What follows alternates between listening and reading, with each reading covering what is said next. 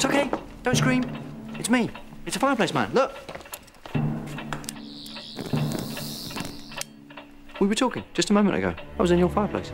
Monsieur, that was weeks ago. That was months. Really? Hmm. Must be a loose connection. Need to get a man in. Who are you? And what are you doing here? Okay, that's scary. You're scared of a broken clock. Just a bit scared, yeah. Just a little tiny bit. Because you see, if this clock's broken, and it's the only clock in the room, then what's that? Because you see, that's not a clock. You can tell by the resonance. Too big. Six feet, I'd say. Size of a man. What is it? Now, let's think. If you were a thing that ticked and you were hiding in someone's bedroom, first thing you do, break the clock. No one notices the sound of one clock ticking, but two...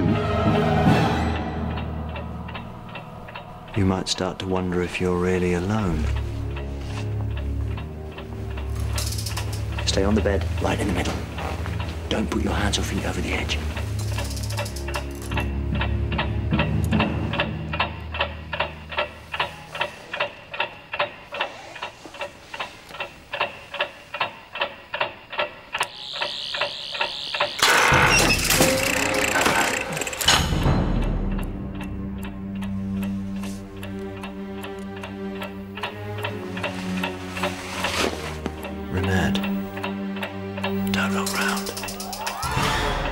You stay exactly where you are.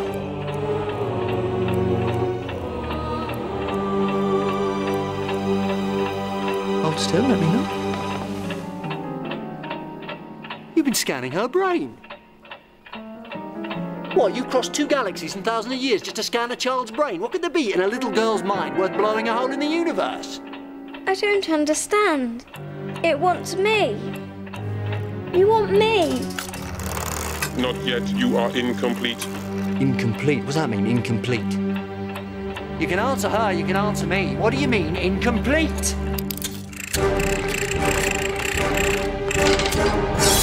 Monsieur, be careful. Just a nightmare, Reinette. Don't worry about it. Everyone has nightmares.